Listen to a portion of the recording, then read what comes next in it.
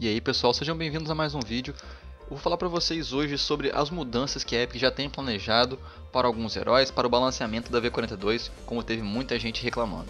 A primeira coisa que eu quero falar é sobre aquele vídeo lá que eu fiz, que teve algumas pessoas que ficaram meio que ofendidas pela brincadeira, mas eu já vou deixar bem claro que aquilo foi uma brincadeira sim para o pessoalzinho que estava com muita raiva, xingando a Epic, xingando outras pessoas, falando que o jogo tá um lixo e que acabaram com o jogo. Sinceramente, eu vou dar a minha opinião para vocês. Eu acho que o jogo melhorou de certa forma e piorou de outra. O jogo melhorou para mim no gameplay, na velocidade que as coisas acontecem, principalmente de acabar uma partida para mim tá ótimo. Ninguém quer ficar acredito eu, 50 minutos, 40 minutos, 45, é, numa partida que você nem sabe quando que vai acabar ainda. E agora a gente já tem uma noção ali com 25, 30 minutos de qual será o desfecho da partida. Mas eu queria deixar bem claro também que eu não falei que o jogo está balanceado, eu não falei que o jogo está perfeito. Sinceramente, acho que eles devem rever muitos e muitos números, principalmente nas cartas. Os heróis também, obviamente, alguns stats estão muito assim acima do esperado, acima do aceitável pela galera, mas algumas cartas têm que ser revistas, algumas skills têm que ser revistas e é exatamente isso que eles vão fazer. É simples, é só você ter a paciência para esperar as coisas irem acontecendo aos poucos e ao invés de ficar xingando se matando, é só você dar um feedback construtivo para eles. Eu também entendo o lado da galera e eu não vou ficar defendendo a Epic aqui de olhos fechados, como se a Epic fosse perfeita. Só que eu tenho certeza que em situação alguma na sua vida, a sua raiva vai resolver alguma coisa e xingar alguém e xingar o mundo inteiro vai resolver alguma coisa. E mais uma coisa, claro, o vídeo que eu fiz zoando do Fishing Planet, vocês acham mesmo que eu estava zoando? Ou vocês acham que eu quero pegar mais de 70 espécies de peixes em 12 locais diferentes com milhares de combinações do meu equipamento de pesca? Eu vou deixar isso aí no ar. Agora vamos falar sobre o balanceamento e o que eles já confirmaram para a gente nas próximas mudanças no V42.3 e no V43. Bom, como eu já disse para vocês, a V42.3 vem no dia 29 de agosto, sempre numa terça-feira, e a primeira coisa que eles informaram é que eles vão melhorar a montagem de deck.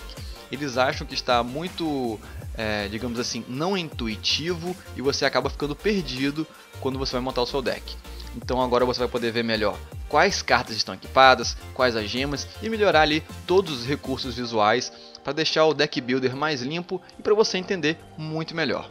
E eles ainda deixaram o seguinte recado: estamos trabalhando na montagem de decks e essa não será a última modificação. À medida que vamos recebendo as reclamações, os feedbacks, a gente vai continuar melhorando. A V42.3 já vem, obviamente, com alguns balanceamentos de heróis, que é o que a galera tá mais esperando. Eu vou falar sobre alguns deles para vocês que eles já confirmaram. É, eles vão dar uma olhada no Gideon e no Wraith especificamente com um carinho especial. Segundo eles, a pedrada do Gideon, que a gente já sabe que está muito violenta, mas a ult dele está muito desvalorizada e o Wraith também vai ter um buff nos seus stats, na vida, no dano e em várias outras coisas um outro personagem citado foi a Kalari, e eles já disseram que vão diminuir sim alguns stats, porque ela está tendo o famoso caso do overperforming, que é o herói é, tendo uma performance acima do que eles queriam, acima do esperado e realmente estando um pouco fora do comum, estando um pouco acima dos outros heróis. Eles confirmaram uma alteração nos stats dela, alguns stats serão diminuídos, mas eles também já falaram que no futuro eles vão olhar é, para Kalari com mais calma e ver todas as skills e ver como funciona tudo por ela, mas no momento eles vão diminuir os stats para dar um jeito na Kalari, que está impossível, beleza? O próximo herói que eu vou falar é sobre o Wukong, ele também será nerfado. É, segundo a Epic, o Wukong está ganhando gold demais ficando na lane com a habilidade passiva dele dos last hits e ganhar gold. E também já falaram que vão é, piorar de certa forma, que eles vão dar uma nerfada nos escapes do Wukong.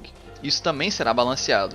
E obviamente, se eles diminuem um pouco os escapes do Wukong, eles diminuem a sua sobrevivência.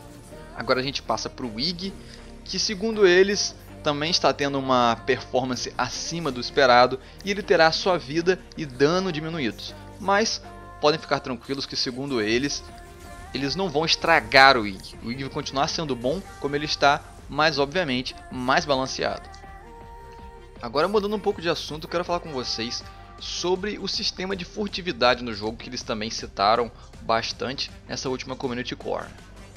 E sobre esse assunto, que obviamente foi citada a Kalari e algumas cartas como a Shadow Dancer, estão difíceis de counterar, mas de certa forma são e não são tão difíceis assim, pois a gente tem outras cartas que dão um jeito nisso.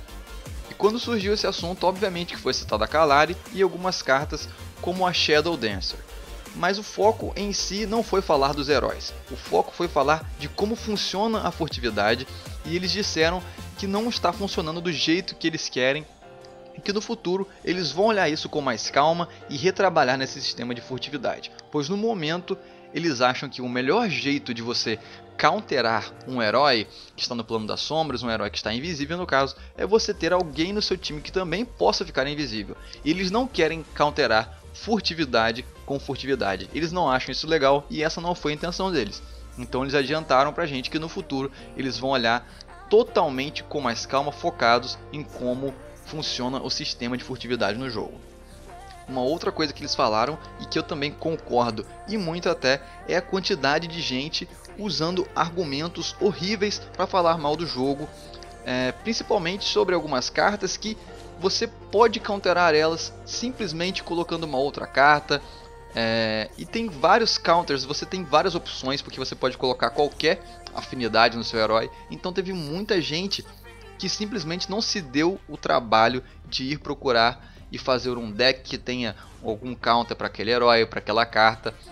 Mas é, eles já citaram que também vão dar uma olhada nos balanceamentos se tiver uma coisa assim realmente difícil de counterar, que eles vão alterar pra gente. E para finalizar, é, eles disseram que até dezembro eles vão mexer em 20 heróis no mínimo, é, olhando suas habilidades, o cooldown.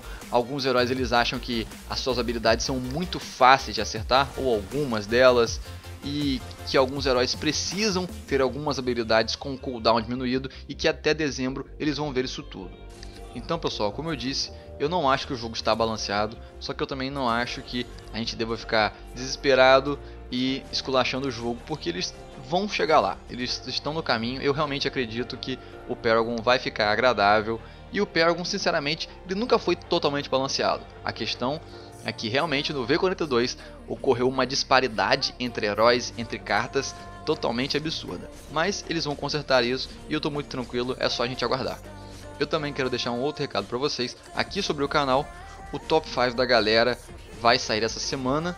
Como eu já disse, é, não estava muito bem, então algumas coisas acabaram ficando atrasadas e eu também vou colocar um gameplay essa semana, então podem meio que colocar aí no calendário top 5 gameplay mostrando uma build e um teste na verdade, é mais um teste, não é uma build que eu quero mostrar para vocês e um lore que eu vou escolher, provavelmente vai ser da Muriel, beleza?